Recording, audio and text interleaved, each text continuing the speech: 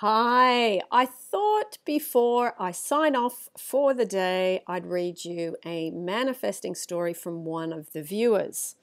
It's from Haz. Haz says, I just wanted to tell you something that happened to me last summer.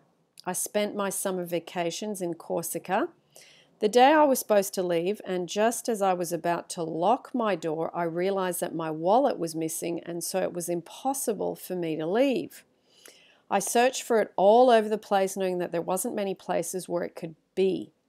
I thought about the last time I used it and I realized it had been two days before on the Friday afternoon when I went to the supermarket to buy some food.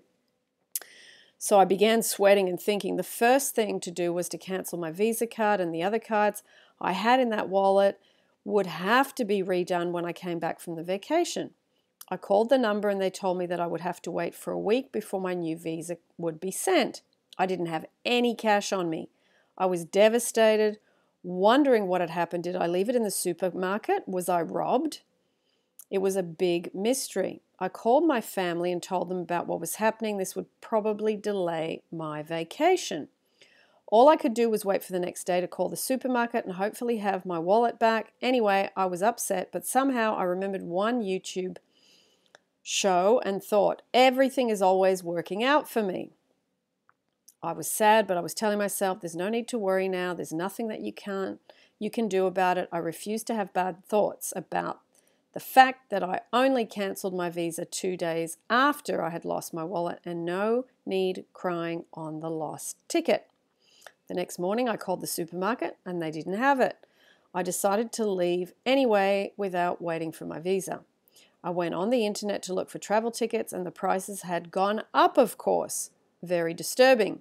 What was disturbing also was that my family wasn't very supportive and they were asking stupid questions and giving me stupid advice. I told them so and said, It's always easy to figure things out when it's done. To make a long story short, I managed to get a cheaper ticket using my imagination and changing my usual arrival point, so that cheered me up. I was to leave on the Wednesday, so I decided to go to the bank on that morning and get some cash. On Wednesday morning at 1:20 a.m., someone rang the bell to my apartment. That woke me up. My neighbor had rented his flat for the summer, so I imagine it was his new guest who didn't have the key or something. This bell ringing was annoying, but I didn't get up.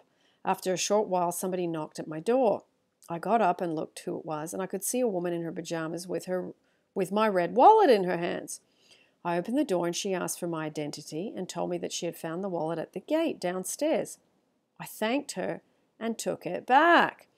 I was flabbergasted, not understanding the situation, except for the money, less than 10 euro.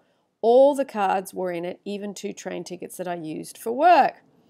I couldn't understand the situation and was very grateful. It would have been a chore to redo all the cards what a relief. The next day, I was getting ready to go to the bank to get some cash. I opened my mailbox, and guess what? My new Visa card was already there. That was amazing because I reported the loss on the Sunday evening, and the guy told me it would take a whole week to have it done, and there we were only two days after. I wanted to share this story because I clearly remember thinking about the video and thinking, everything works out for me. And also, what amazes me is the almost miraculous way I was given my wallet back. Nowhere on those cards was there an address. I found a cheap ticket to travel, and my visa was sent way earlier than announced. It's true. you don't need to know how things can turn out, you just have to have that feeling in your guts.